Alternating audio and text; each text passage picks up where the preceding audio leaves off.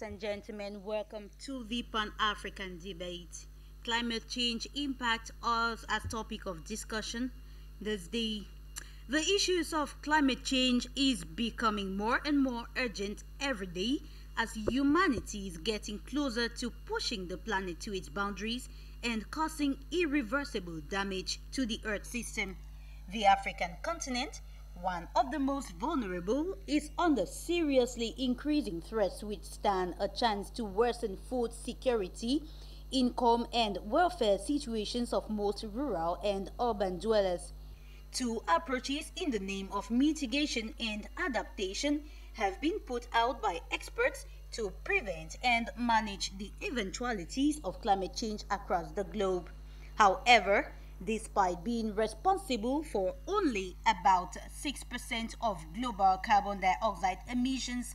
Experts say Africa is and will continue being the most hardest hit region by climate change, with nations like Mozambique, Malawi, Zimbabwe, South Sudan, Niger, Kenya, just to name a few, constantly being faced with devastating impacts of the climatic changes. With growing populations and advancements in technologies, climate change seems impossible to avoid and mitigation and adaptation being the only surviving methods proposed as at now by experts. But is vulnerable Africa capable of standing against and surviving from these intense droughts, floods, storms, heat waves, melting glaciers, warming oceans and rising sea levels only through mitigation and adaptation strategies? Can the African continent be a solution to climate crisis as proposes other analysts? We discuss this on today's edition of the Pan-African Debate. Stay with us.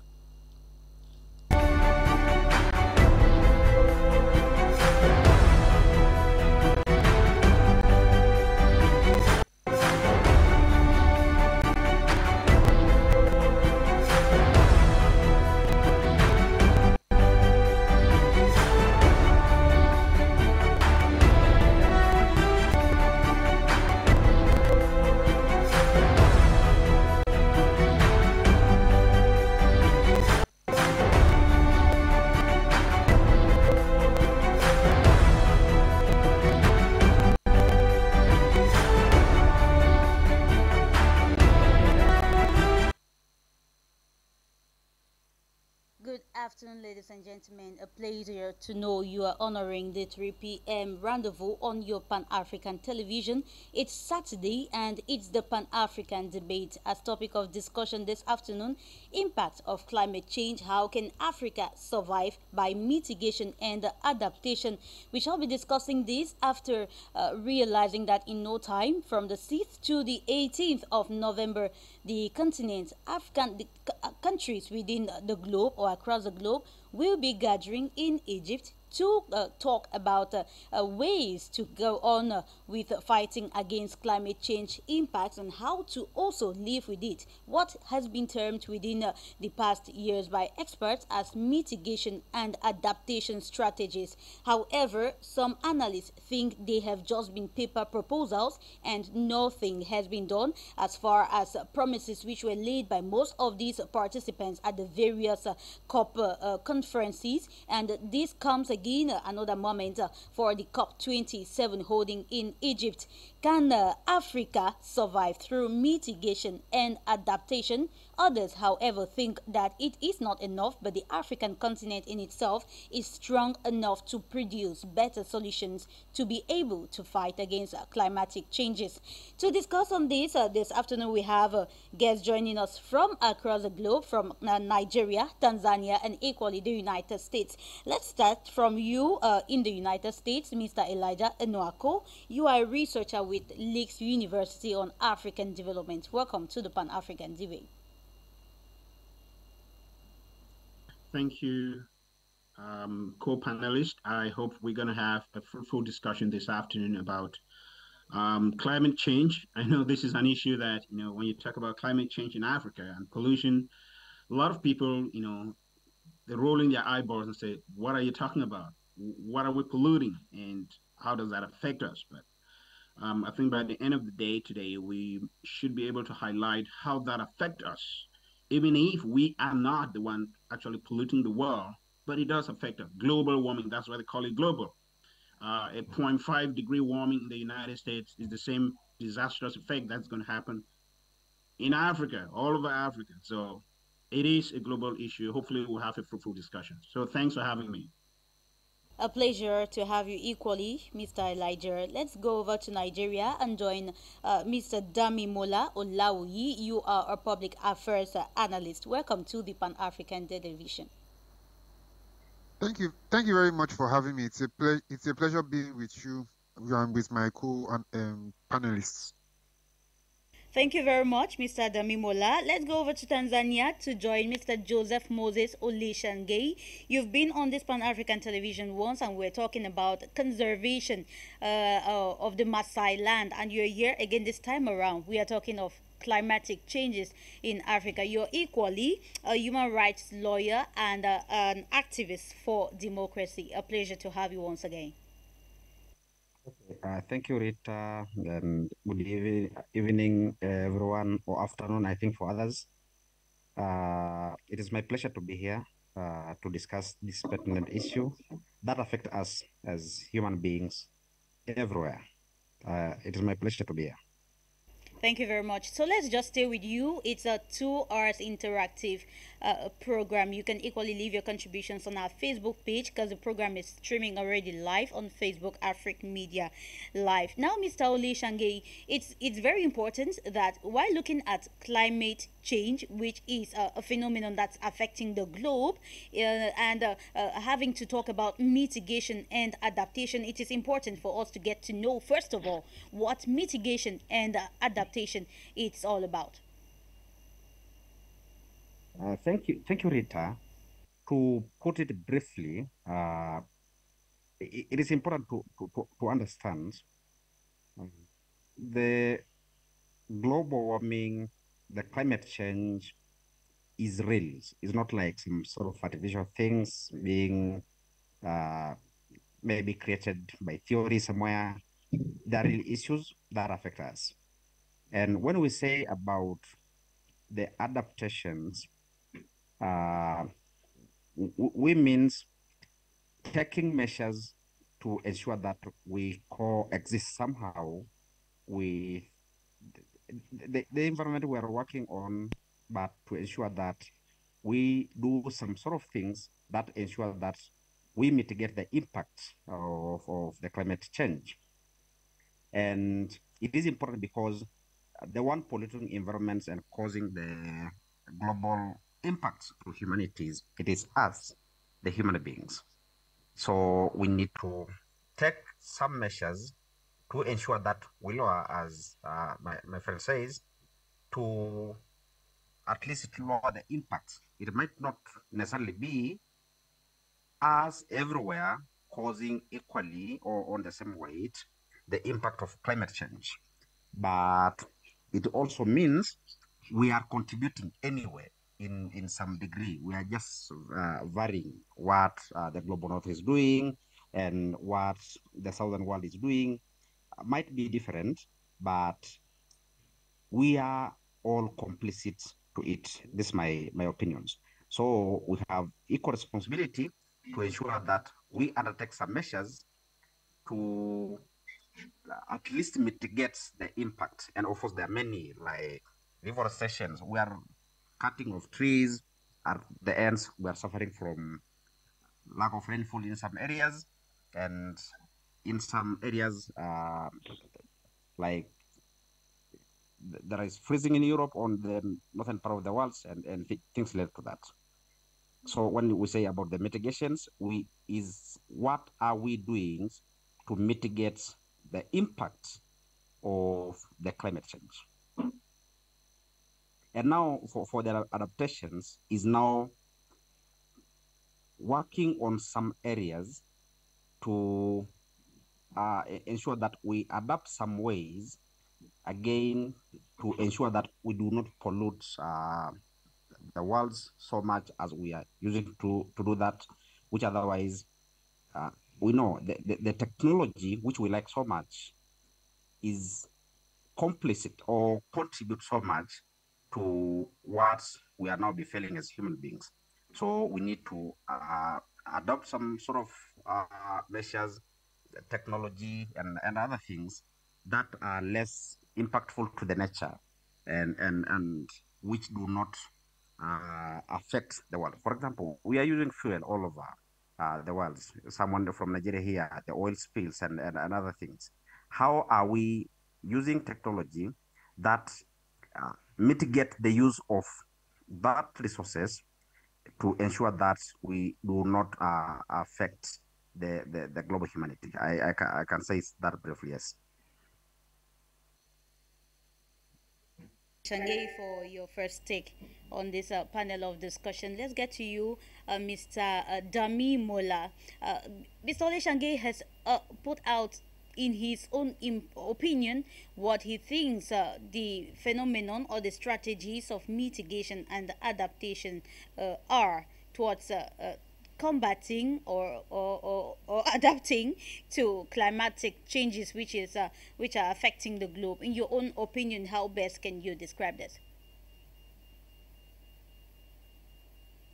So when we talk about um, um, how we deal with climate change, um, we need to understand that these are the kind of problems that don't have a silver bullet, which means that there is not just one particular solution.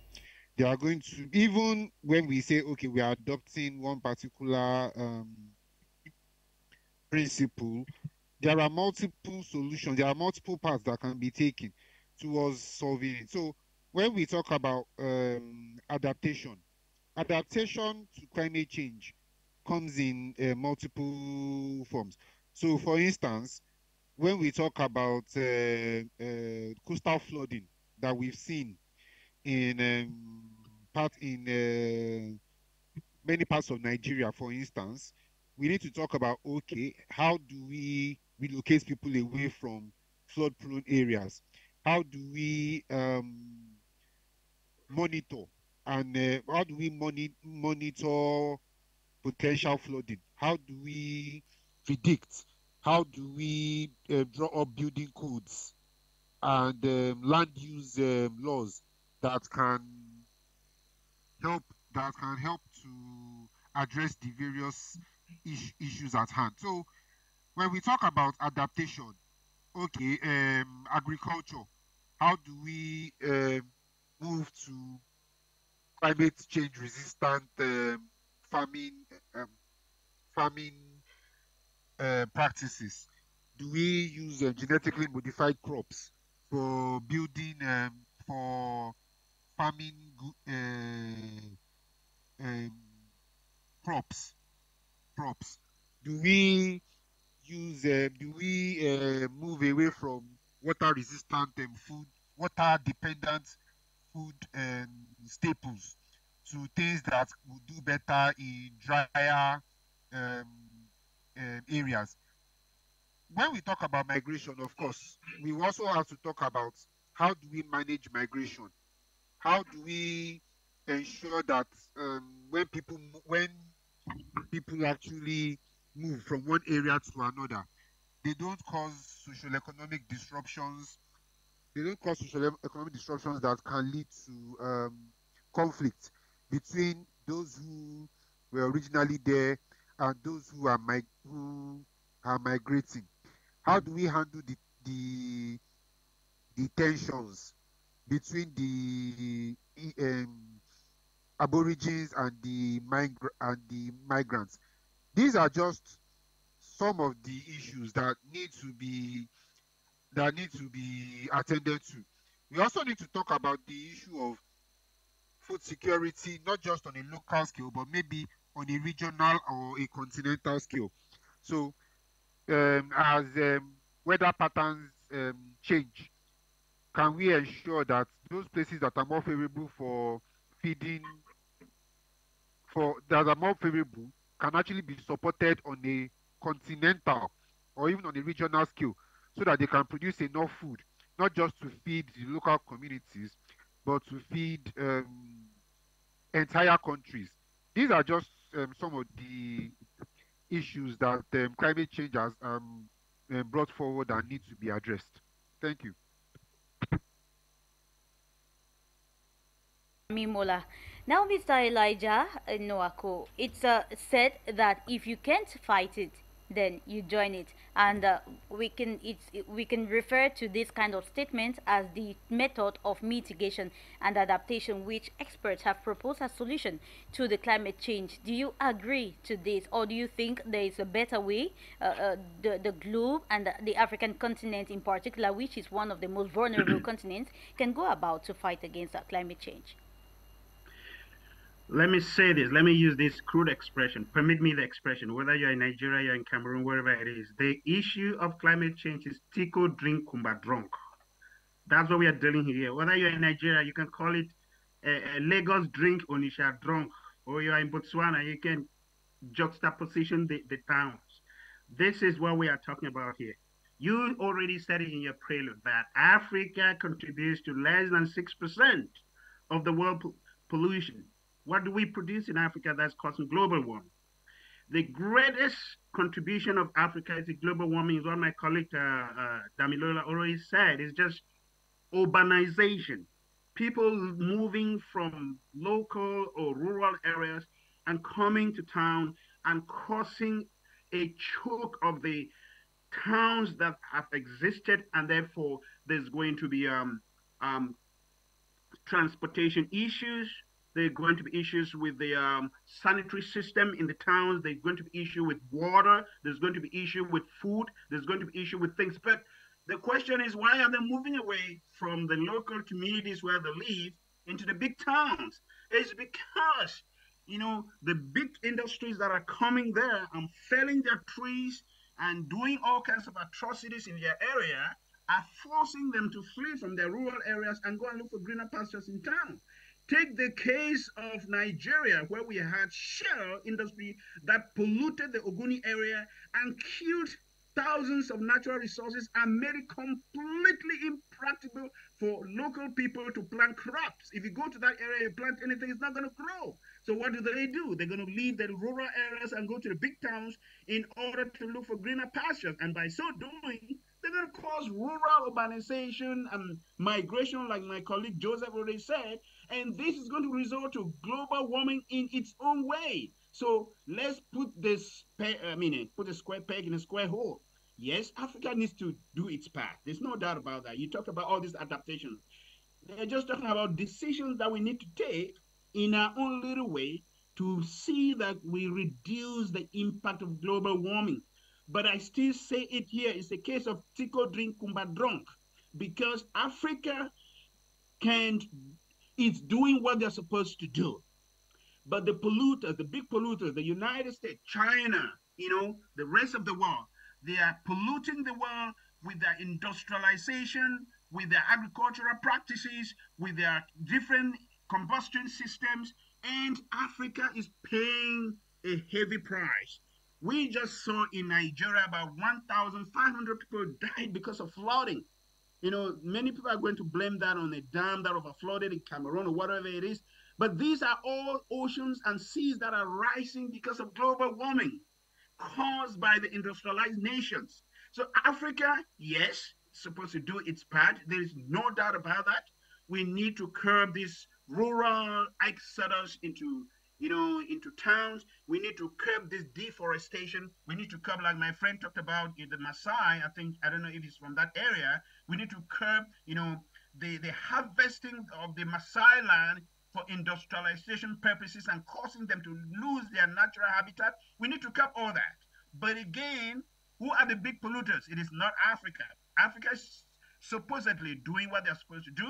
When you talk about you know, in the Western world here, they are talking about building, you know, houses that are energy efficient, building this. You don't talk about energy efficient in Africa, where we are having temperatures about 35 degrees, 40 degrees. We don't talk about those things. Africa is not the one contributing in that area. You talk about cars that are polluting because the carbon content of that is huge. How many people have cars in Africa? How many? We do a lot of trekking. We see in the Western world people are trying to adapt to, you know, using their bicycles and uh, forms of energy that is going to pollute less. But the people in Africa are already doing that. We trek most of the time. We go to our mountains, we walk, we do all this. We're already doing that. We have, very few people are using transportation means that actually pollute. You talked about, you know, um, um, uh, I mean, uh, the agricultural sector, for example, because it's been known that just the fertilization and the chemicals that are used in in industrialization in in, uh, in the agriculture sector in the Western world is contributing hugely to global warming. How many people use fertilizers or any sort of that in Africa? Very few. We use our natural manure. It doesn't produce methane. It doesn't produce CO. It doesn't produce all this. Yes, we do have cows that cow fats and cow dung do produce. But again, how many people do industrialization, commercial farming of industrial, industri- uh, uh, industrialization of um, cows? Not many. We do they use the natural means. So, in a nutshell, yes, Africa is going to do its part in terms of adapting to climate change.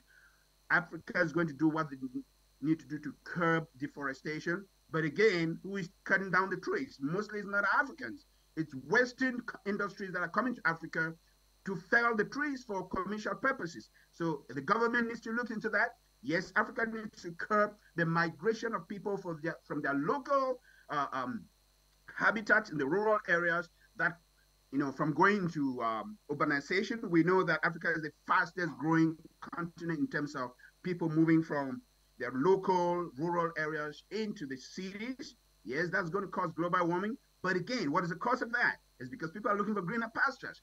If they have their local industries being harnessed in a way that the profits from that local industries benefits them, they're gonna they're not gonna leave their natural rural uh, environment to go to the cities to cause all this. So, in a nutshell, before I will come back, I want to say that the West, the West. I'm happy that this COP 27 is coming to Africa. African activists, African political leaders, African free thinkers, African civil society they should rally up and demand that the West should pay its fair share. We could call these reparations, global warming reparations to Africa. All the ills that are happening in Africa, uh, you already mentioned that in your intro about the amount of drought that's happening in Africa, the amount of food insecurity that we're facing in Africa, the amount of difficulty that Africans have been put through as a result of global warming, it's caused by the West It's not caused by Africans. You mentioned already, 6% of global warming comes from Africa. The rest come from these polluters in the industrial world. So those who are going to Cairo, please press for Africa to have its fair share. Those polluters should pay into Africa. There's something we call carbon pricing. Africans can greatly benefit from that. Those who pollute more should pay those who pollute less. That is what carbon pricing is all about. Africa should benefit from this initiative, and that is what my perspective on this issue. Thank you very much, Mr. Elijah. I'd like to join Mr. Oleshangay. Now, we're talking about mitigation measures which are set to to to be actions taken to curb and uh, reduce greenhouse gas emissions while uh, uh, adaptation measures are said to be based on reducing the vulnerability uh, to the effects of climate change so we can say uh, in other terms that mitigation attends to the causes while adaptation attends to the the impacts of climate change now, what about these vulnerable countries? Are these vulnerable countries like Mozambique, Kenya, Malawi, South Sudan, which we earlier mentioned, able to sit up to the measures and survive from uh, uh, uh, repercussions of these climatic changes. Like we can see in the videos, uh, images that are, are, are, are being uh, shown on the pay on the screen, we can see from there how countries suffer from from uh, erosion, from flood, and from drought. Can these vulnerable countries really sit up with uh, to these measures to survive from the repercussions of climate change, Mr. Oleshangay? Uh, thank you. Uh, I think Africa still has some capacity, of course, not all, all of it, but at least we have capacity to take our own initiatives. Uh, because at least, and I think as Enoku has said, um, we are not the greatest pollutants, though we are. We are contributing, but the fact. And our countries, Tanzania, you can see Kenya, uh, suffering uh, one of the greatest droughts uh, so far as I know. Uh, but if we are to reform our own ways, not forcing, because uh, Enoka said, one of the things is urbanizations.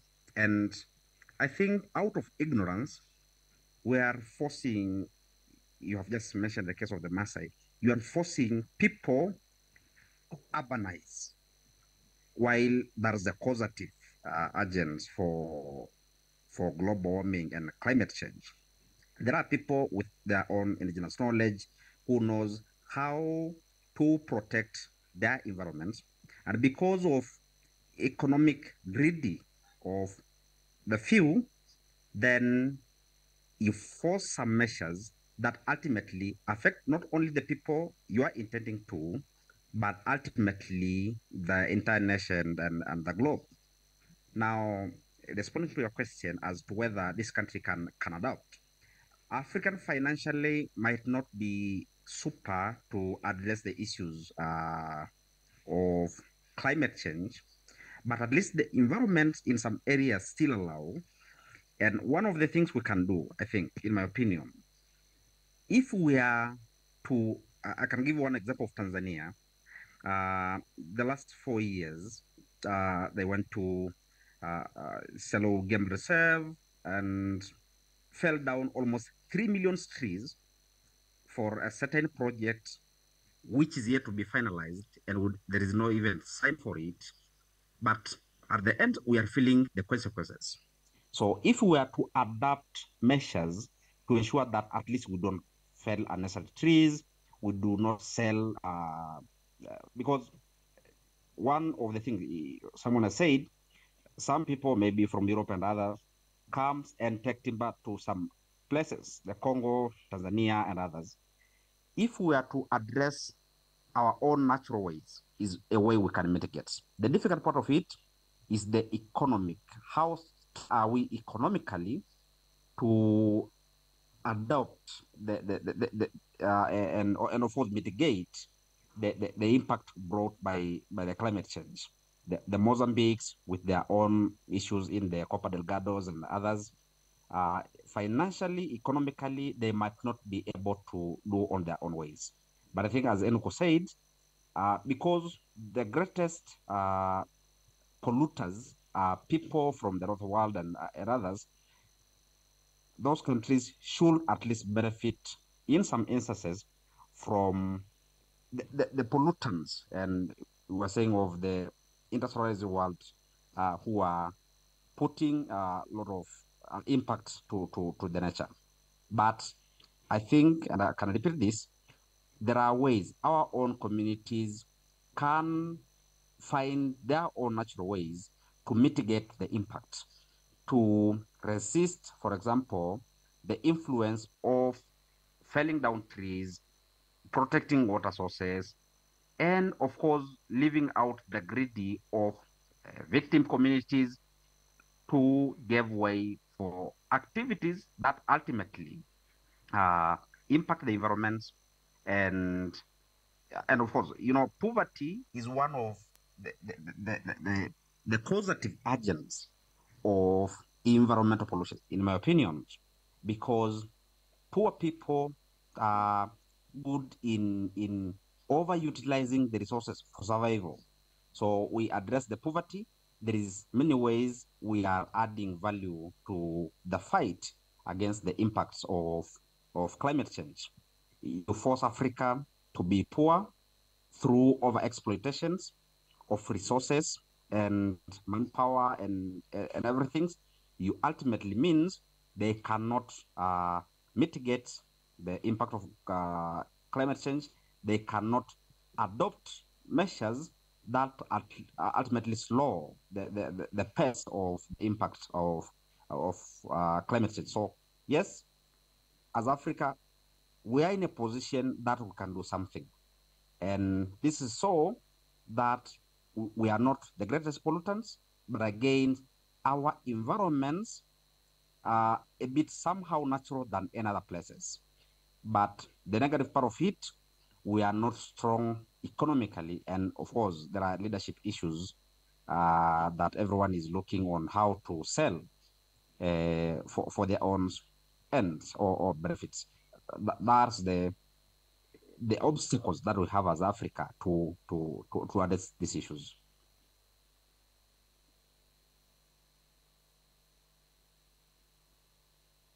Now, Mr. Dami Mola, just to continue in the same light, we have uh, the least developed countries in Africa, which are among the most vulnerable to climate change, yet they are the least capable or able to adapt to uh, uh, uh to, to, to adapt to these effects of climate change. So, you as a public affairs uh, analyst, how do you think uh, these countries, these vulnerable countries, what do you think they need to do?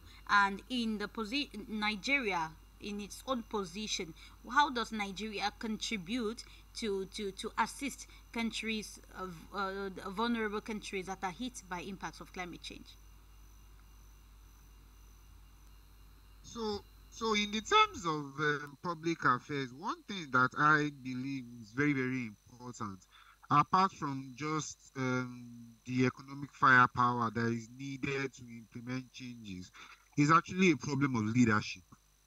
Um, as um, one of my co-analysts has pointed out, decades or even let's just say centuries of um, economic exploitation of African communities, African societies, and African countries has left um, these entities far too weak to be able to help themselves. And um, what do I mean? We can go back to the transatlantic slave trade. We can go back to colonial era. We can even go back to the new new colonialism that um, that we saw after the um, independence struggles, where um, great world powers used both overt and covert means to influence the leadership of their various of their various countries to achieve their own selfish economic economic uh, aims. So unfortunately, um, a lot of the corruption that the that a lot of these these um, companies, particularly their commercial entities, what they the, a lot of the corruption that they encouraged amongst African leaders have meant that far too many countries don't have stable social, politi- social, uh, social political structures that can help people identify their problems, draw up plans to draw up plans to, ad- to address them, and carry out effective inter- intervention measures, either mitigation or adapt adaptation. Um, ever so often, particularly amongst the oil majors, we often hear reports in the in in in even in the advanced countries where their where their governments actually accuse them and find or or sentence their executives for for bribing uh, for bribing uh, local uh, local officials. So we can talk of the shell case that has been going on in uh, in the Netherlands. We can talk of the Total Fina Elf RG uh, cases that have been going on in Italy. We can talk of uh, various uh, cases that have gone on in the in the US and in the UK. What has happened is that this what corruption does is that it tends to push out those it tends to push out those who are actually seeking the best possible outcomes for their people and it brings it's it's it's elevates or promotes only those who are there for their own selfish uh, uh, needs so really if uh, we're talking about uh, uh, great powers the industrialized west trying to assist uh, trying to assist African countries, particularly poor, poor African countries. One thing that they must do is that they must change the way they do business, which means that they must crack down harder on on their nationals and their and their uh, corporations for their corrupt practices, they must put an end to doing business with corrupt individuals, corrupt political office holders. I mean, London, um, London is regularly London's financial center is regularly referred to as as uh, Moscowgrad, which is essentially where corrupt oligarchs from Russia and other European countries move their money to London, to Zurich, to New York, in order to essentially in order to launder it and to invest in um, in Britain's um, real estate real estate um, industry. So yes, these countries need financial resources, but more importantly, they need leadership resources, which means that they need to have a crop of leaders who properly understand the problem and who are ready to do the hard work, to take the hard decisions of socially and economically sustainable interventions for both mitigation and adaptation that will help their citizens, that will let their citizens achieve better outcomes outcomes for the, for themselves.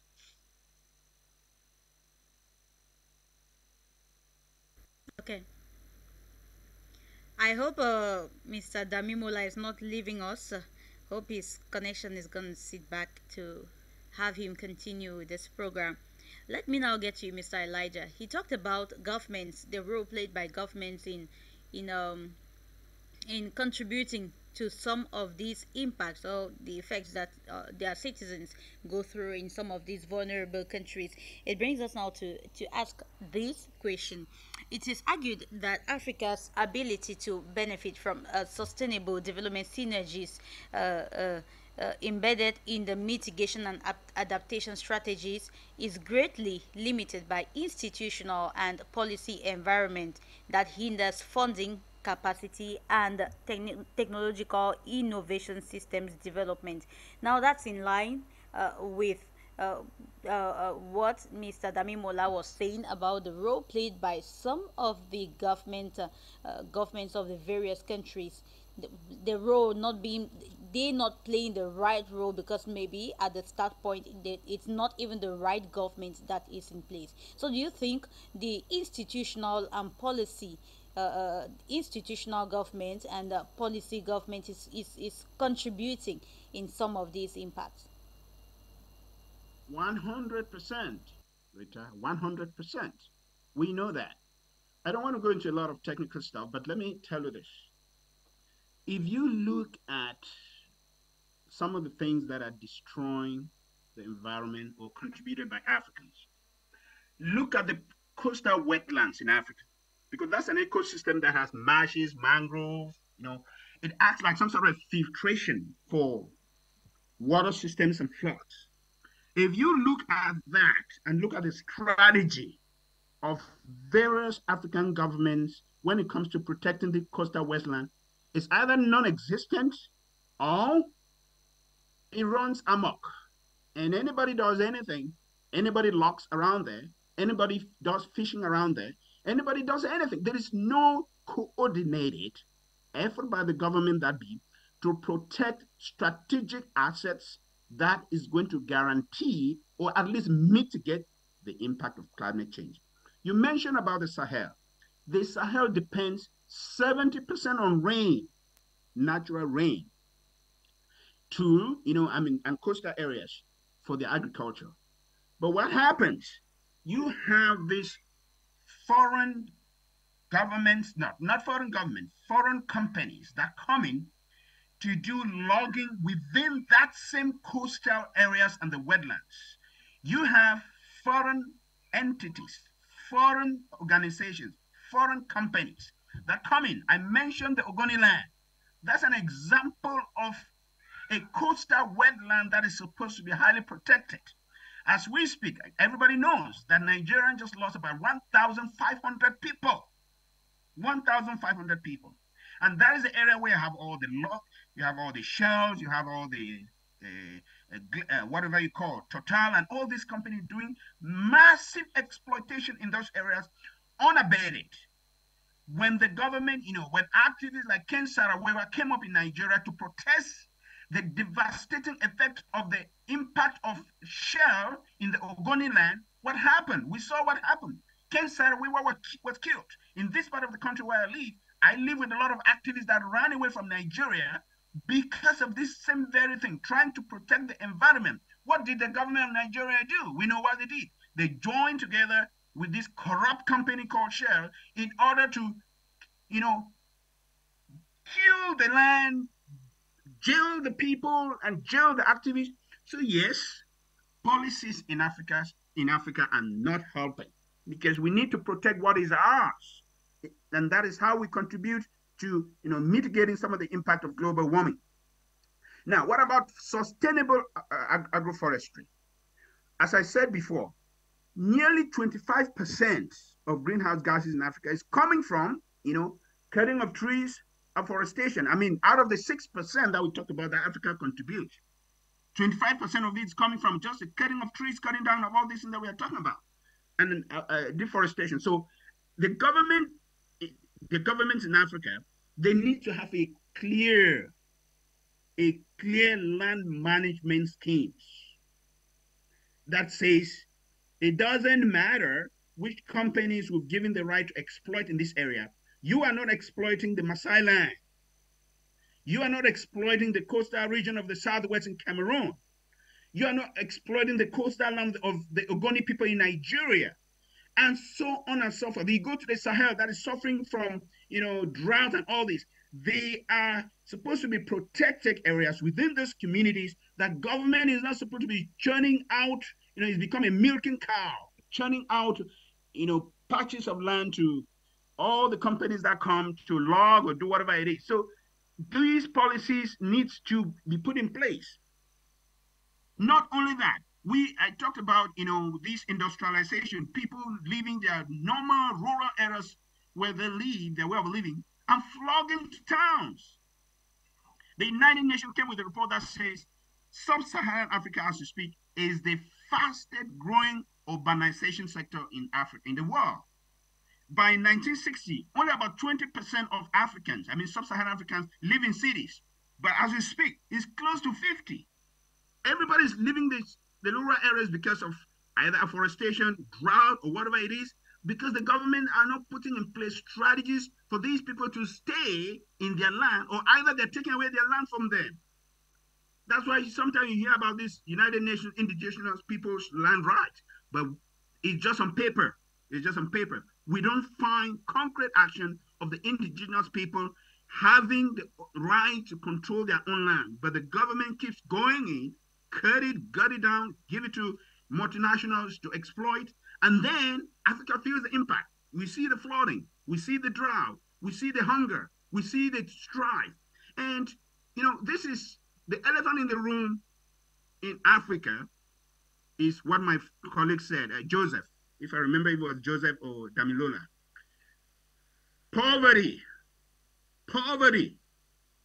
The United Nations Climate Action Committee must address the causes of poverty in Africa. That is how they are going to address global warming mitigation effect in Africa.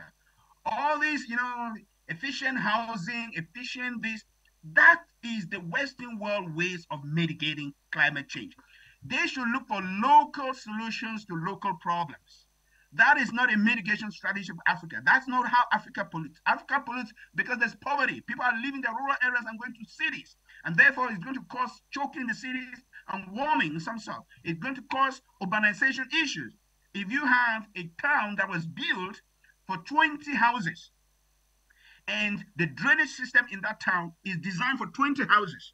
And then suddenly you have 1,000 people living in a town that was designed for 20 people. What do you think is going to happen to the drainage system? What do you think is going to happen to the water system? What do you think is going to happen to you know all the other things that people are going to rely on for their daily living? It's going to pollute because people have left their own town. I mean, uh, their rural areas. They've come to industrial cities, uh, but those industrial cities were not built for that capacity and for those number of people.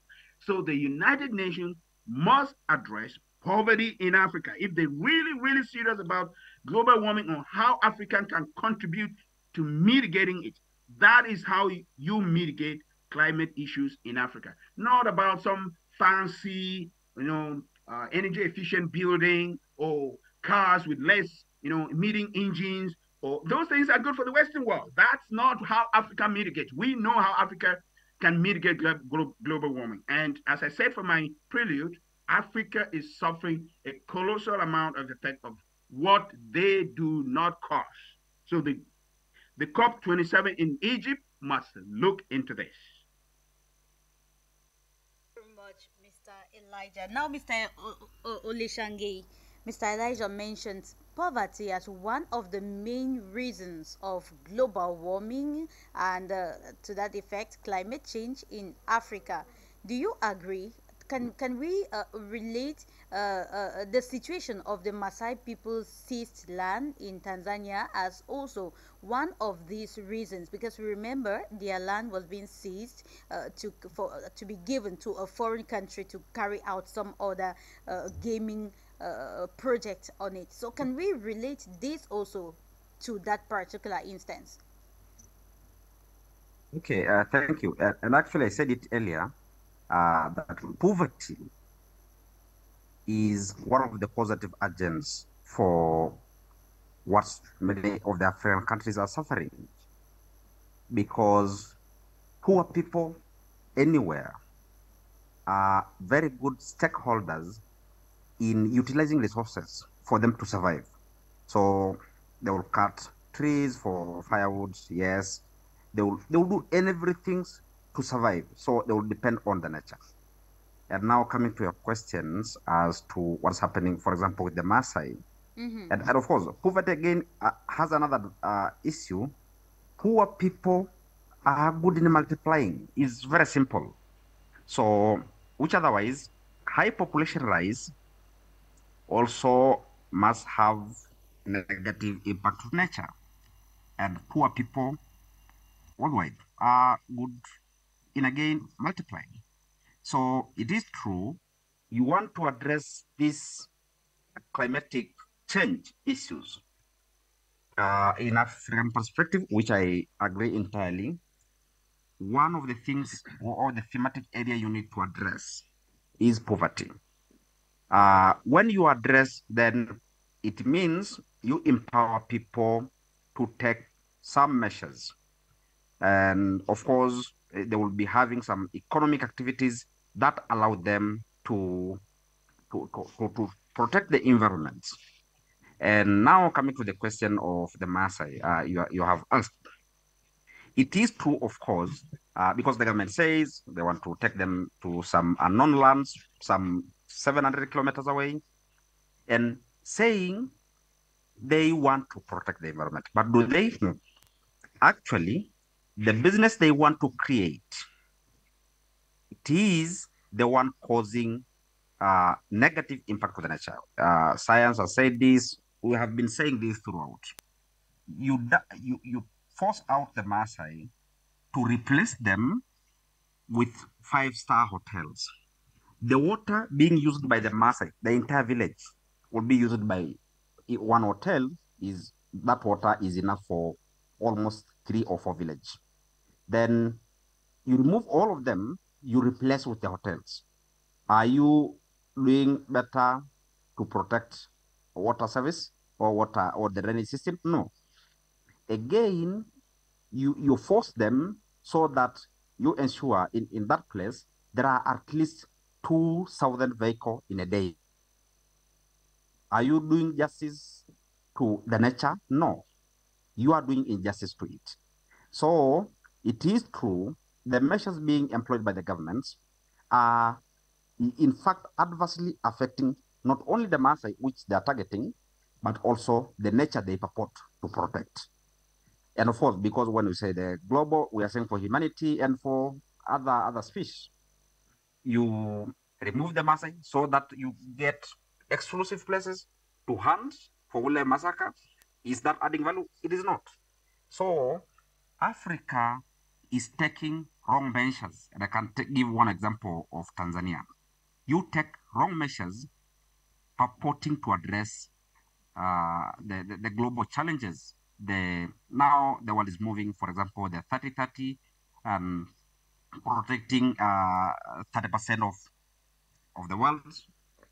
Of course, the idea from Europe being forced to Africans, but who are the victims? Because uh, Elijah said the, the migration, the exodus of our communities being forced now to concentrate in one, one areas means the land created for one family. Now you'll be having 50 families forced into a certain area.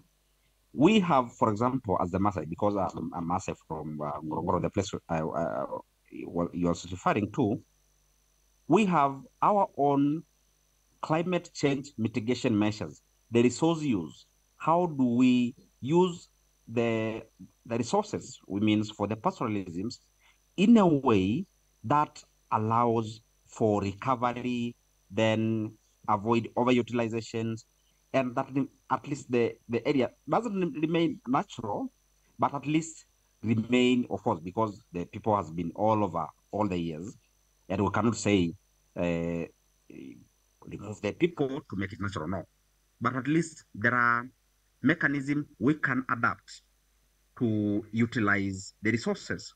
Now you force them to replace with some unknown theories created in some office somewhere, and you want to apply, never tested anywhere.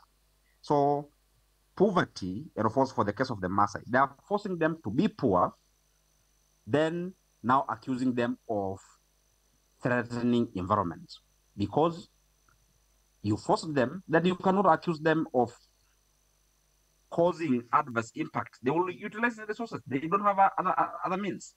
So it is true. They are very much related. To poverty, one is a causative agent direct to, to global uh, or climatic change. But again, poor people will multiply and, and of course, will be running everywhere for survival. Uh, then the exodus to town areas, then uh, you get urbanizations, then you have what you have in Europe and America. That's uh, which otherwise the next few years, Africa will be contributing the same way the global north is is is causing.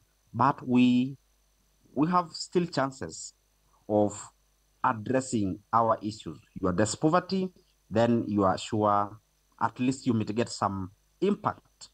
Our people can remain on their own natural environments, but in a sustainable way, in a uh, having life with dignity, in the same circumstances they were living.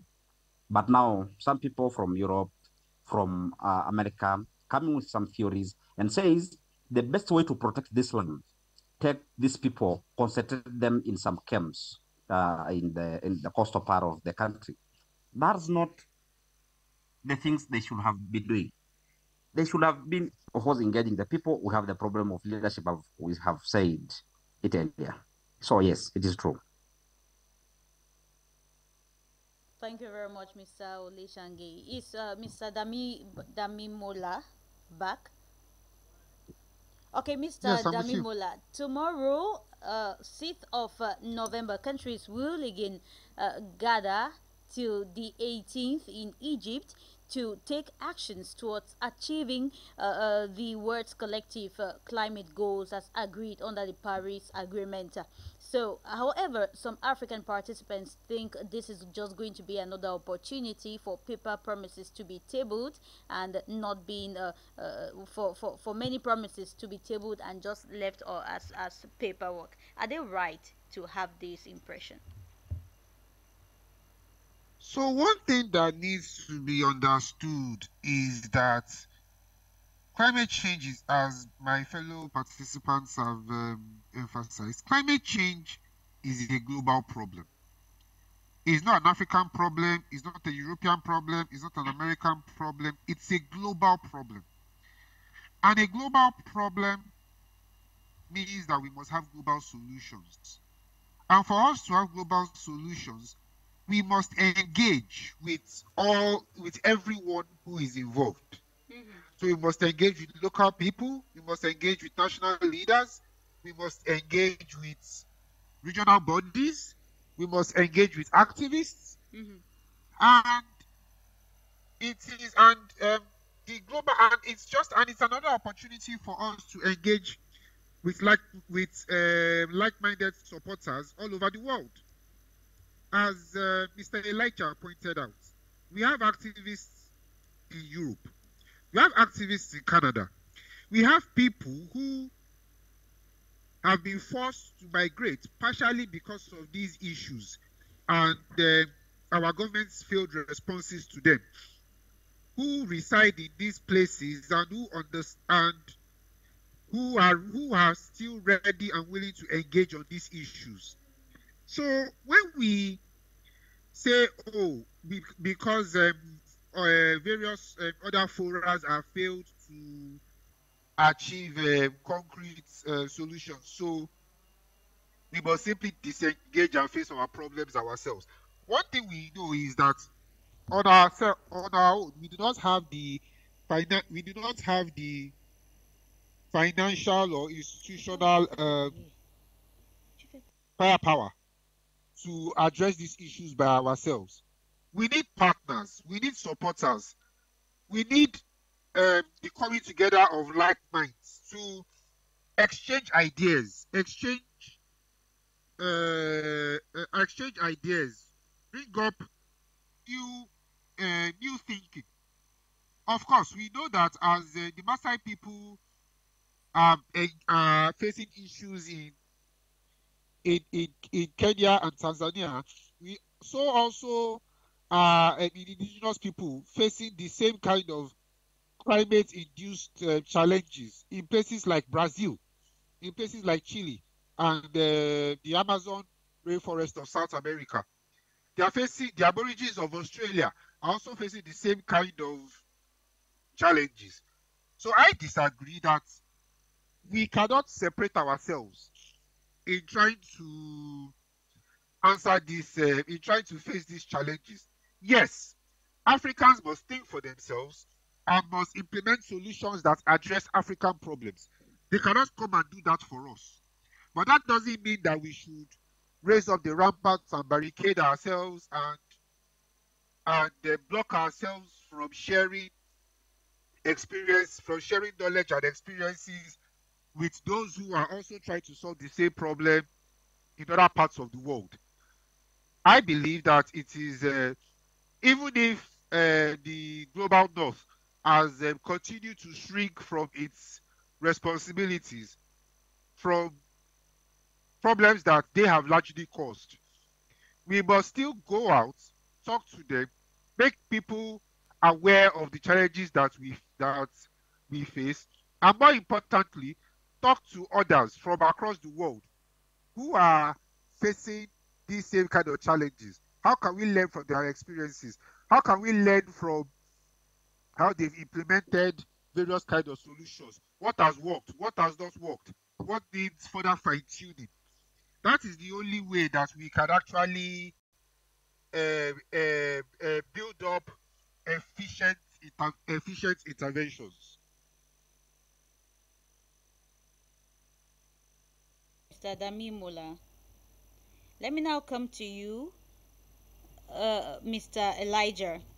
We have the UN Secretary General Antonio Guterres, who has repeatedly uh, pointed out that the gap in the commitment of developed countries to deliver on their 100 million 100 US billion uh, climate com uh, commitments annually it's really wide implying that most of these developed countries who take commitments and engagements uh, towards uh, combating climate change do not uh, do them at the end of the day, giving reasons to some of these participants at uh, the uh, the the uh, the climate change conferences to you have the impression that every new climate change conference is just a repetition of new promises that are not going to to to be to be honored. And there it is again uh, cop 27 coming on. So what how how do you do you agree or do you uh, abide with the opinion or the impression of uh, these african participants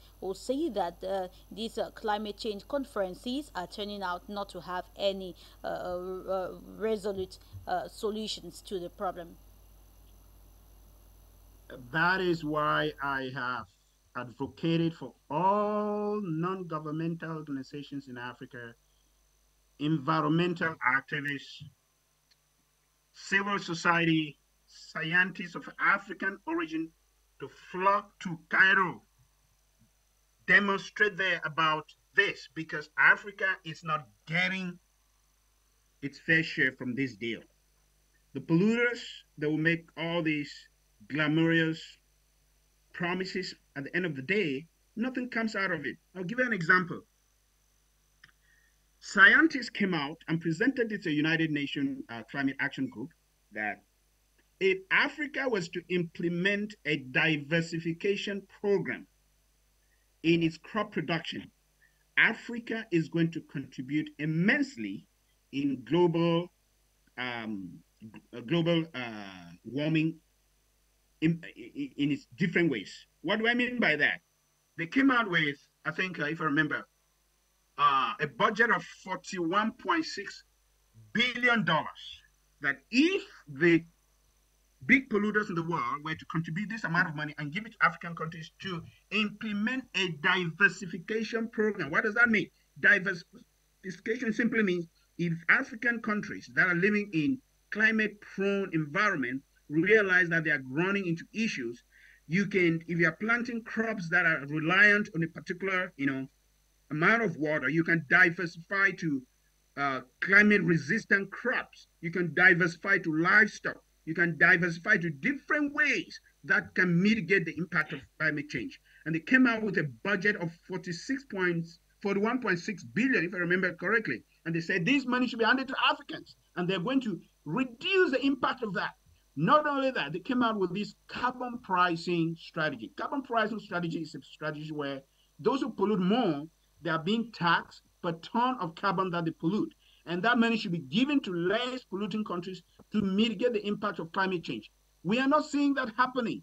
So, right now, as we speak, it's been predicted by scientists that by 2050, 2050, it's not far from here, the glaciers that we have in Kilimanjaro National Park and Mount Kenya, they're going to be all melted. Not melted by Africans, is melted by global warming that's happening somewhere in China, somewhere in the United States, somewhere in Canada, somewhere in Europe. But Africa is going to suffer the effect. Why can these countries, you know, I mean, uh, I mean, um, come together, accept or fulfill their engagement in this global warming pact that they have engaged in? And we see, if you look at the strategies, every country has its target that it's supposed to cut by this number of year, uh, this number of tons of uh, carbon, CO, CO2, cut this, cut this, cut this.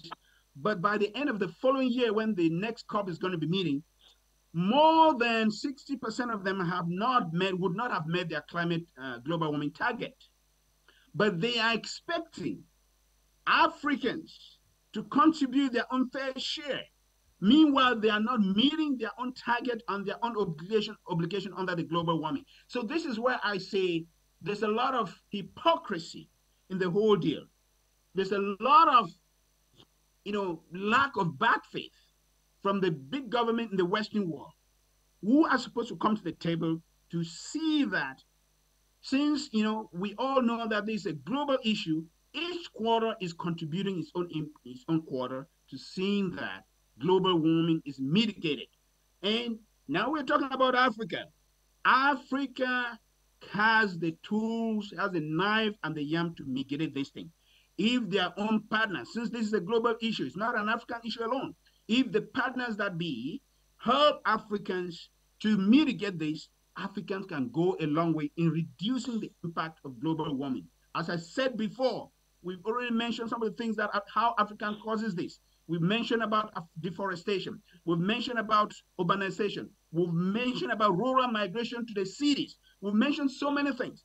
But Africa can mitigate that if the powers that be meet their obligations. These obligations will help Africans make sure that the carbon pricing is fair. Africa is getting a fair share of the carbon tax. Make sure that you know this diversification that Africa has accepted, that they welcome it, make sure that the money is going to Africa to see that they can diversify the economy and move away from practices that are going to either, I mean, um, uh, increase the impact of global warming or either make it worse. We've talked about mitigation impact here. There's very little tools in the toolkit of Africans to mitigate these issues because they, like unlike the industrialized nations, they are not really capital. I mean, uh, uh, uh, um, capital intensive in terms of industries and polluting industries, and the means at their disposal are not there. But in terms of what they can do, if they help, if the global economy helps Africans, of course, Africans can stop the, you know, migration of uh, people from rural areas. They can do that. They can diversify the economy. They can diversify crop production. They can diversify livestock production. They can do so many things that is within their disposal, and it doesn't need a lot of money. It doesn't need a lot of income. It doesn't need a lot of capital revenue to get these things done in Africa. But the hypocrisy that's coming from the Western world is the one that is killing these global initiatives to combat global warming. If they pay their fair share and come to the table and do what they have agreed to do, global warming will be reduced and the whole world will be in a better place.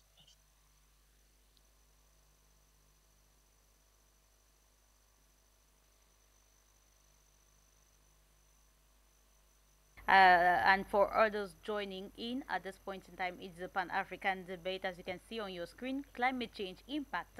Can Africa survive through mitigation and adaptation? Is what we have been analyzing for the past uh, one and a half hour. So we continue. We have uh, on our panel uh, uh, democracy activist for democracy and human rights lawyer, Mr. Uh, uh, Joseph Oleshangay. So uh, I, I come back to join you now to bring this other worry. So we, we, we are talking about these impacts of climate change all through and how vulnerable Africa is most hit, whereas it is not. Uh, uh, uh, it is the least contributor to to to to uh, gas emissions. Why now do climate change research works mostly focus more on countries outside Africa, whereas uh, Africa has relatively the lowest coping capacity? Uh, th thank you. If I understood it, is uh, so much of the work to protect or to actually to mitigate uh, the, the, the, the, global warming mm-hmm. uh, and the climate change is, is being done in Africa uh, because actually the other places in the world are worse case but the, the, the only things for example you you need to do in Europe and others because the industrialized nations and Africa is still, uh, I think I just said, uh, almost 6% or so is the one we are contributing. There are at least more than enough space, at least, uh, for Africa to adapt and mitigate, and particularly given that not only is not industrialized, but also the environment still allows. Now, in my opinion, this should be a double work. You do not only take those measures to Africa because it's still somehow uh, natural than, than the rest of the world, but you need, as Elijah said, to undertake parallel process. You cannot tell the African to protect their 30% of their environment, otherwise evicting their people through the theories formed by in unknown areas, then the the same industrialization and, and, and the global north are still doing what they has been doing all over for for for the last one or so centuries. The the the, the the, the, the ice melting and uh, and issues we are saying about the Kilimanjaro and and and, and Kenya uh, and Mount Kenya is not resulted from what is being done in Kenya or in Tanzania or in Uganda.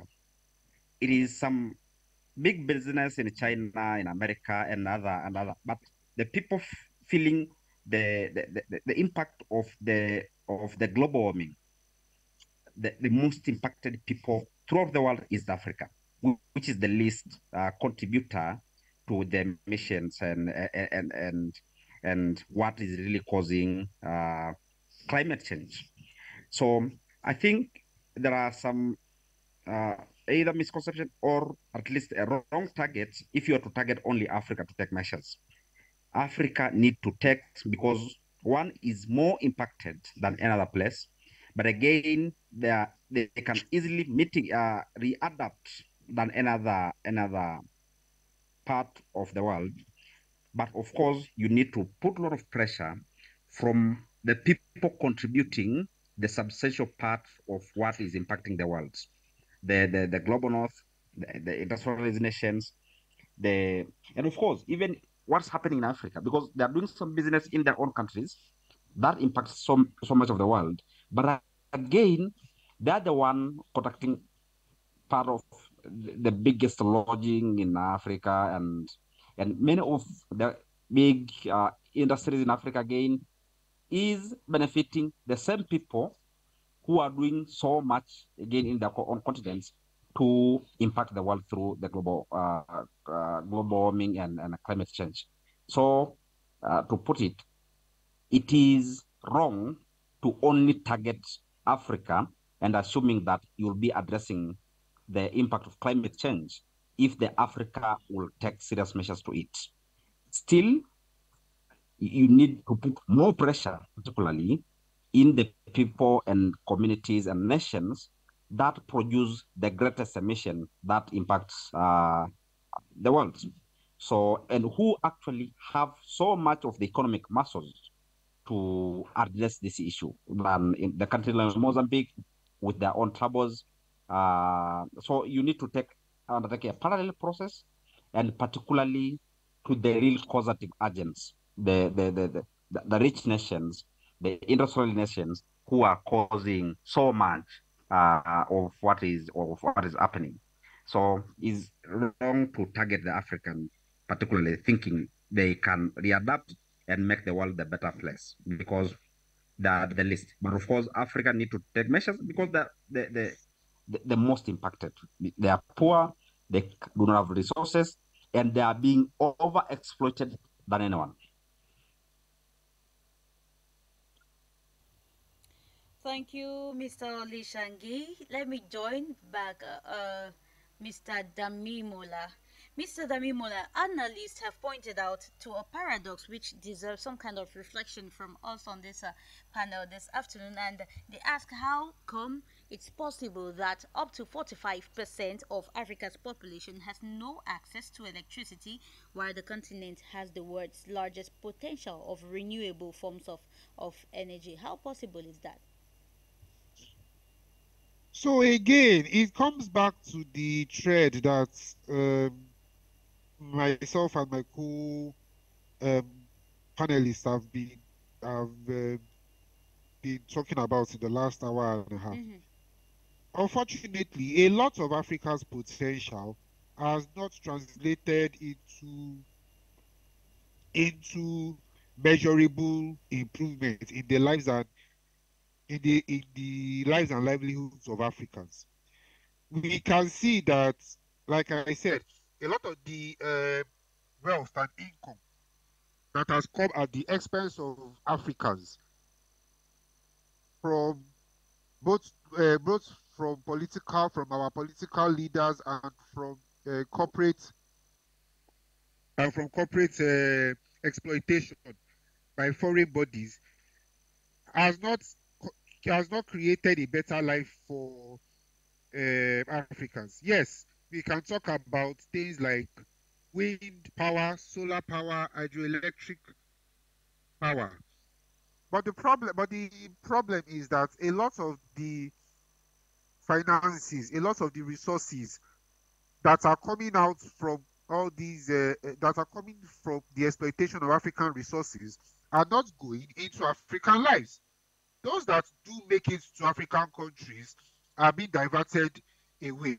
So a lot of the issues of uh, institutionalized corruption that we see in African countries, uh, uh, fraud, waste, and graft that we see in a lot of uh, the finances of African governments. What that has done is that our people have been on a, a, a, the vast majority of Africans have been unable to tap into the potentials and the possibilities that are available in the more industrialized uh, parts of the world. Of course, uh, one of course a way to look at uh, a, an industry or a, of a of an economy is what's what's uh, uh, what are the various things that are impacting a measure like inflation? In in the industrialized world when they measure inflation energy energy prices are usually the biggest contributors of inflation. But in uh, less developed um, african societies the biggest drivers of inflation are usually food prices because people really don't have access to the kind of energy that they need to power their homes, to power their offices, to power industries. So when we talk about so so when we talk about oh Africans don't have access to um, efficient power, to renewable power. The thing is that power is one of those things that cannot be done by an individual or by small communities. It is the kind of project that needs to bring together the full resources of a nation or even regions. Where because that's because the kind of skill efficiencies of skill that you will get from that you get from hydroelectric dams cannot be compared to what you will use if you are driving a diesel or a petrol powered uh, generator in a in a household. Of course, the costs go up per per individual per individual, and of course, the impact on the climate through the release of uh, of greenhouse gases is also driven up by individual. So, of course, it's a combination of many things. Governments have not brought have not brought themselves together access the opportunities that technology, particularly in the last 30, 40 years, um, and advanced research towards uh, renewable renewables, the kind of uh, uh, innovations that that are that are being developed in other parts of the world. Our governments have not been able to tap into those opportunities, and that's the reason why we are seeing those we are seeing those kind of statistics. Thank you, Mr. Damimola. We are we are we are now uh, analyzing uh, the various solutions. There are some analysts who have said that uh, the African continent, though vulnerable, can also be a solution to the problems of uh, uh, climate change. Like some have uh, proposed that given the larger uh, uh, mass, large mass and hundreds of millions of hectares of land that can be restored to health for food production and water conservation, ecosystem restoration will indeed provide multiple solutions to various crises, including drought, poverty, land, and biodiversity loss. So, Mr. Uh, Enoaku, get listening to this, what do you think? So Rita, um, let me pick it from where um, my colleague, um, I think uh, Damilula uh, ended. Because that's a critical path in terms of African has the resources even to help the rest of the world. Let me be very, very specific here. Africa has the resources to help even the rest of the world mitigate climate impact. You mentioned about electricity. You are in Cameroon you know about Lake uh, Menchum, the Menchum Falls. Science and engineering and technology and people from different walks of life who have worked in Cameroon have looked at the dam and come out with statistics and um, design that says if the government of Cameroon, with their international partners, were to implement a dam over Lake Menchum, that dam is going to supply electricity to the whole of West Africa. To the whole of West Africa. So the energy crisis in the whole of West Africa, we are talking about, when I say West Africa, that includes even, you know, part of Central Africa. We're talking about Nigeria with a colossal issue of electricity. We're talking about Cameroon. We're talking about Equatorial Guinea. We're talking about Gabon. We're talking about Congo. We're talking about Chad. We're talking about even the countries after Niger, I mean, uh, after Nigeria, like Liberia. That dam alone can supply electricity to that part of the world. Why can the government of Cameroon, in conjunction with its international partners, target these resources that we have that can greatly reduce the impact of global warming and energy crisis? We have the IMF, the World Bank, and the Bretton Woods institutions coming out with structural adjustment program. So this structural adjustment program, they look at governments that are poor, they say, we want to help you mitigate this, that, that, that, and global warming is always part of what they talk about. They will come up with these draconian, uh, uh, draconian measures and say, we want you to target this aspect of the economy, this aspect, this aspect. We're going to give you this amount of money. But why can't they target, in you know, push those governments to target those resources that are available, cheap, solar, a lot of you know, sun in Africa, that we can use all those that sun and harness it and produce electricity. A lot of wind in Africa. Why can't they harness in their structural adjustment programs and push this African government to institute this program and say, you have a lot of sun, you have a lot of wind. Why can't we institute high wind power stations, local solar panel system stations, and that is going to help the economy and it's going to help not just mitigating the energy crisis, it's going to also help the poverty. We talk about you know, poverty being one of the causes of a global warming and it's causing Africans to migrate from their local areas into uh, urban cities. It's good to have them stay in their environment. Why can the World Bank and the Global uh, um, uh, Global Action uh, Committee come up with these strategies and enforce it in the uh, global strategic plan that they are forcing down the throat of Africa, Africans? Because we have a lot of Africans that are still under the uh, strategic uh, uh, adjustment programs. Even Cameroon, even Ghana, all these countries, they are under the uh, structural adjustment program. And they are trying to implement what the World Bank and the IMF and these Bretton Woods institutions have shoved down their throat.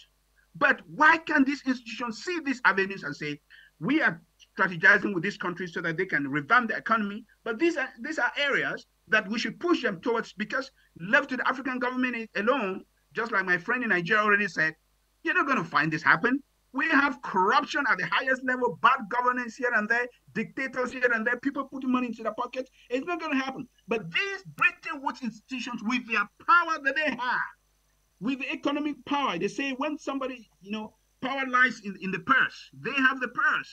And they're pushing this African government, but they are forgetting the areas that can help mitigate global warming as we speak. They're, you know, forgetting those areas. Now, to come back to your question, if I remember, you know, the um, why can't African government take, you know, control of these and it, mitigate this? Let's put this in perspective. To be clear, Africa only emit Africa as a whole, all the countries in Africa emit close to 3.8 percent. But in contrast, China, one country, one country, they emit 23 percent the United States, 19%. I think Europe is around 13%, something like that. So we are talking about a continent that emit, uh, emit this tiny fraction of global warming, suffering the effect of it all, bad governance, and we're talking about heavy polluters who have the knife and the yam, they have the money, they have the power, they can influence these governments in Africa, refusing to do the right thing, but asking Africa to diversify, to do this, to do that, to do that. They know the solution. They know what Africa can do. Africa can help the world economy mitigate this. I talked about carbon pricing before. They know that if they tax the heavy polluters and this money goes to Africa, and Africa implement these some of these strategies that we are talking about here, it's going to help the whole world. You know, without going into technical issues and so on, we know what you know. Meet, you know how um, carbon dioxide is produced. We know how the mitigation effects are being carried out all over the world. We know all that. We don't need to go into technical issues. The Global uh, Impact Committee, they know this. They are scientists, they are engineers, they are people that know all this. This is still the issue of Africa being relegated to the background. They are asked to do more with less, and the people that are polluting are not doing their fair share, but they're asking Africa to do more with less. And they have the knife and the yam, Rita. As we're saying here, as we're talking before, Africa has, Africa can help the world. Africa is a global issue. A 0.1% rise in global warming is going to affect the whole world a 0.1% reduction in global warming is also going to help the same world, the same whole world. So if they help Africans to mitigate some of this, it's going to help the whole world.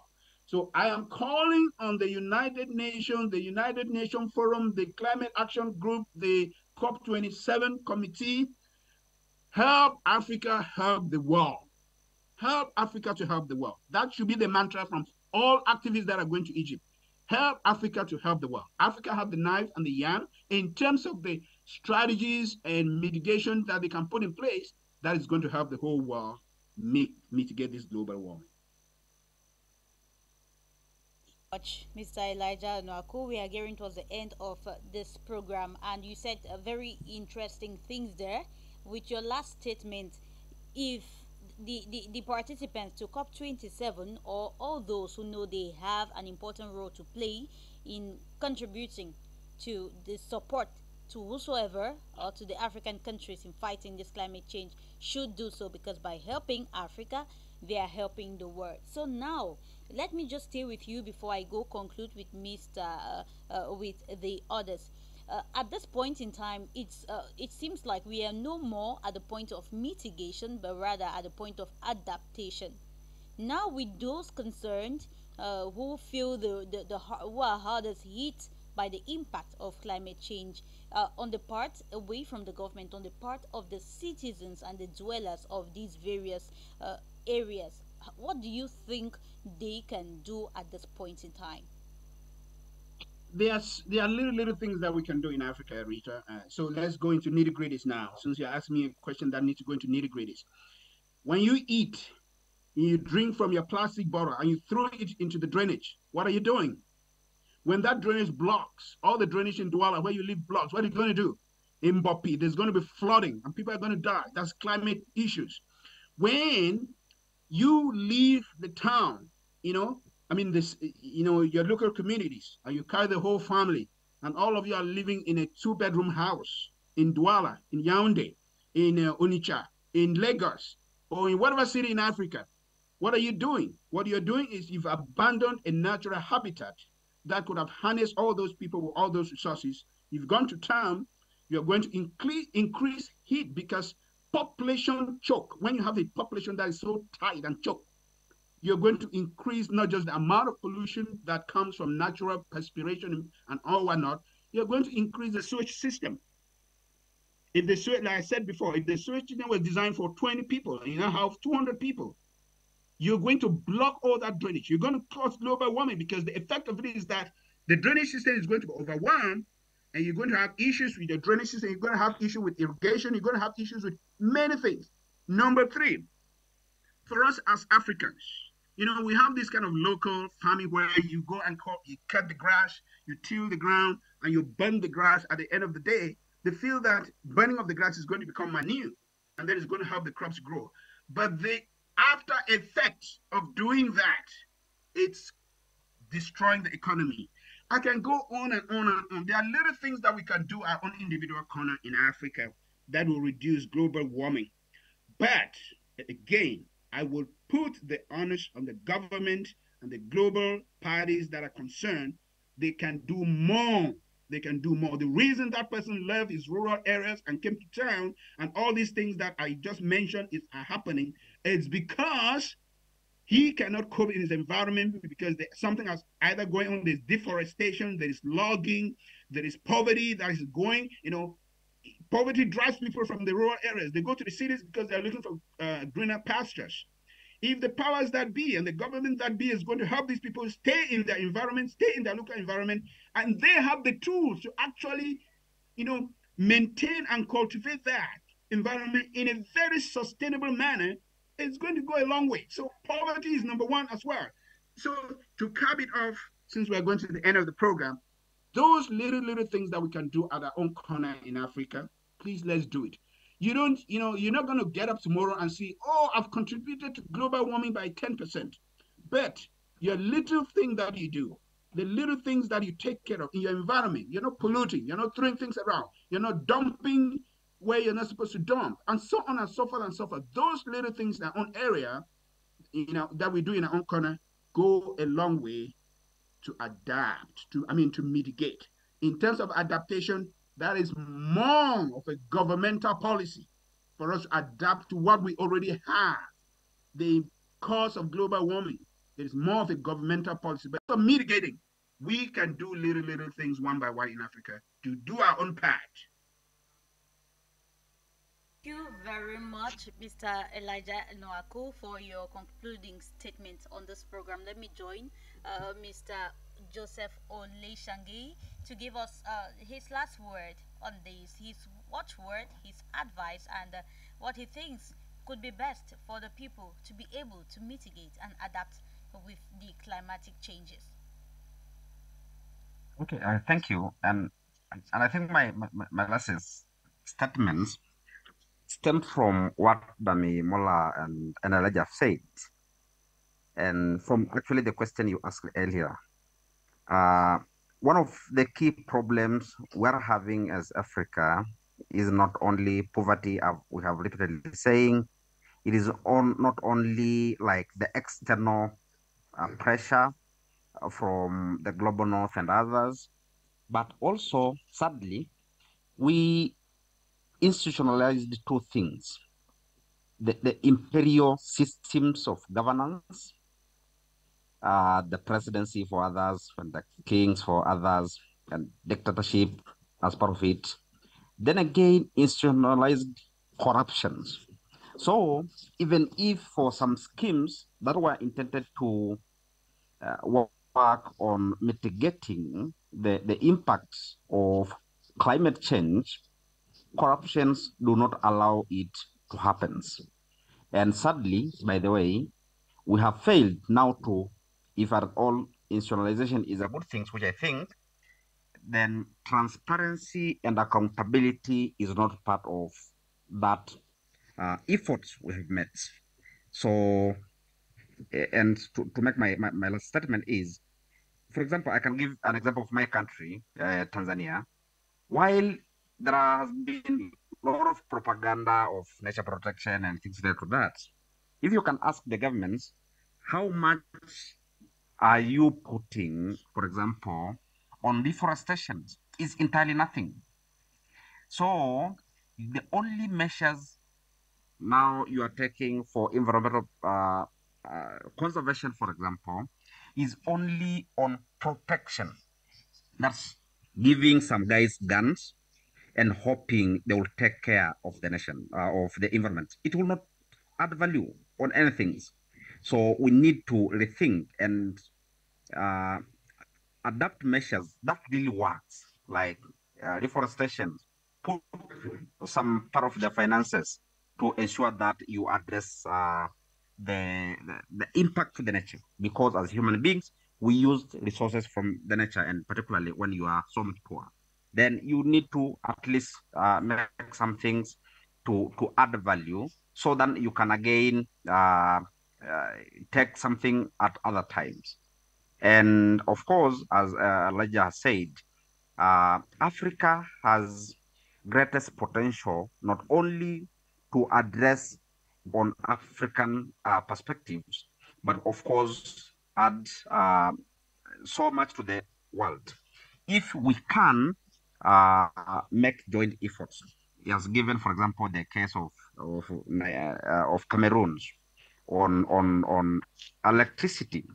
We have high potentials of having a renewable energy, but the entire continent is almost dark. There is no electricity.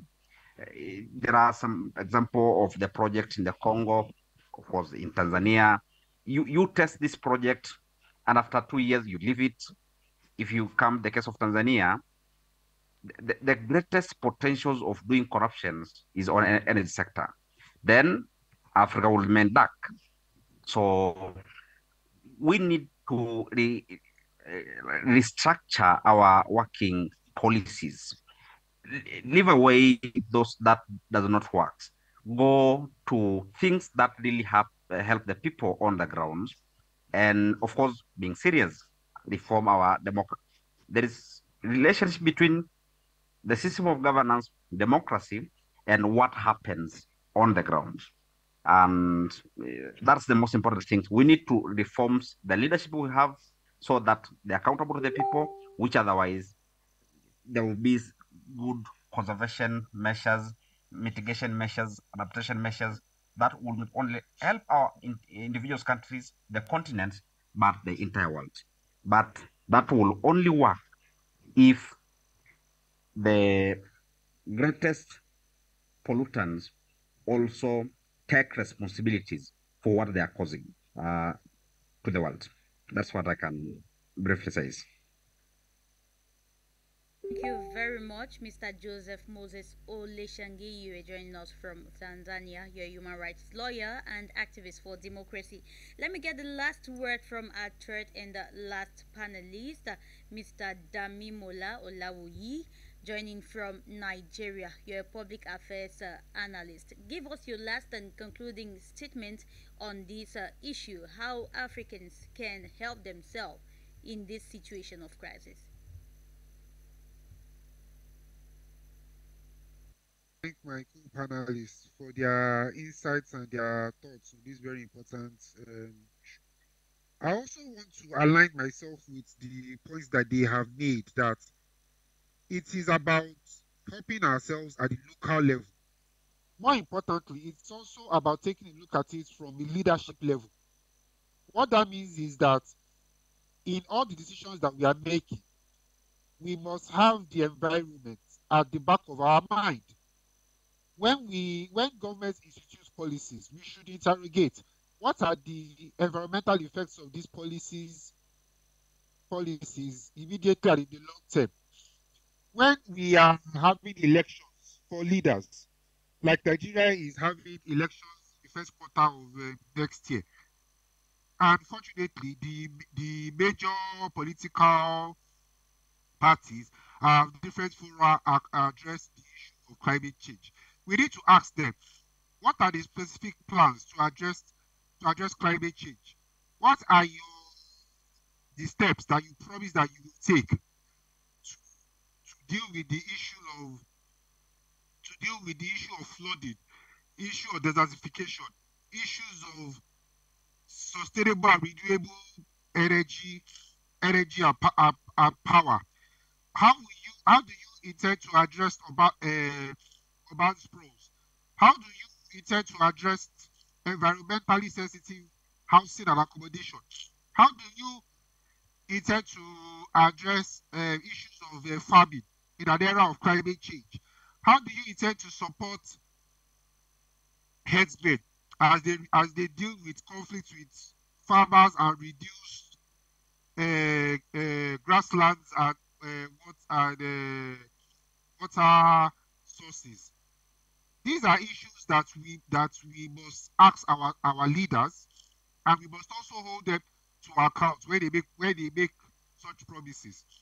Of course, at the international level, all those who are involved in this in this fair, the scientists, the activists, they must continue to beat the drum and warn the world and warn the world that look, Africa's problems are the world's problems. The world's problems are Africa's problems, and they cannot continue to pay lip service lip, lip service to it. A lot of the migration by Africans into Europe and, and, and the US is directly or indirectly climate driven. So these problems, if they are not handled soon, will show up at their doorsteps. So what that means is that as we hold our governments to account, they must also assist Africa to hold their own governments to account to the promises that they have made. And that is the only way that we can all address address this problem. Thank you very much.